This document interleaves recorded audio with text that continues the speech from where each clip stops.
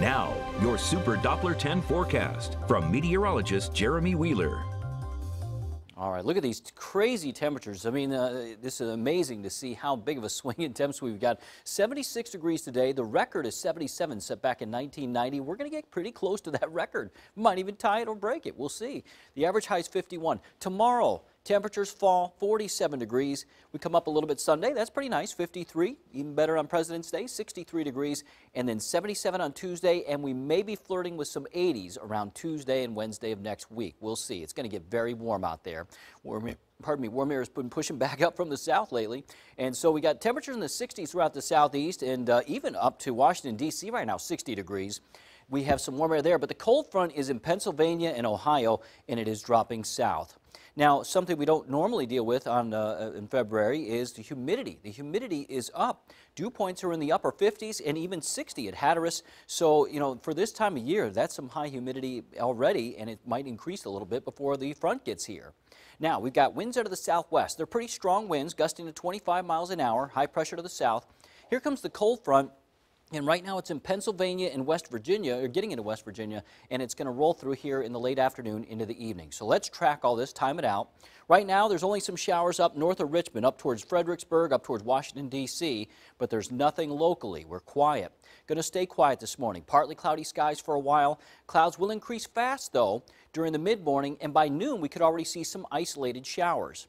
Now we get into the afternoon. Uh, between noon and 3 p.m., the rain really picks up. The cold front starts moving in. We're going to have uh, at least scattered showers, if not occasional showers, and then the rain increases again between 5 and 7 p.m.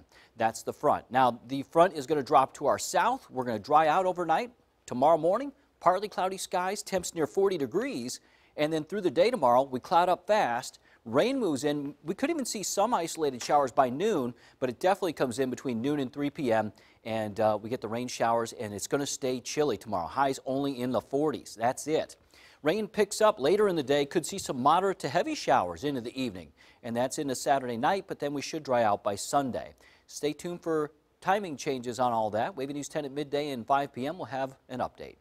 Temperatures right now in the mid 60s. Beautiful picture in the background. It really is, but it does shake. There's some strong winds out there, and so you see that tower cam shaking just a little bit. Look at that. 67 right now in Norfolk, 65 in Portsmouth, 66 Virginia Beach, 64 Newport News. We're going to warm up fast. We got winds out of the southwest at gusting to 25 miles an hour. Virginia Beach, Norfolk, uh, Suffolk, and Melfa, you had gusts up to 30 recently on the eastern shore. So here it is, today's forecast. 72 for the Outer Banks, upper 70s though for Currituck, Elizabeth City, and Chesapeake. You got warm, breezy conditions, showers in the afternoon, highs in the mid 70s in Virginia Beach through Norfolk, Portsmouth, out to Suffolk. On the peninsula, 74 in Hampton, 76 Newport News, low 70s Gloucester, Kilmarnock, upper 60s on the eastern shore, which is still warm, and then you got 77 degrees in Williamsburg. Again, winds turning from southwest to northerly.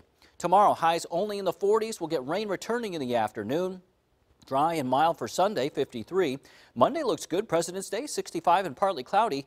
And then, yes, upper 70s for highs. Tuesday and Wednesday, maybe just some isolated showers at that time.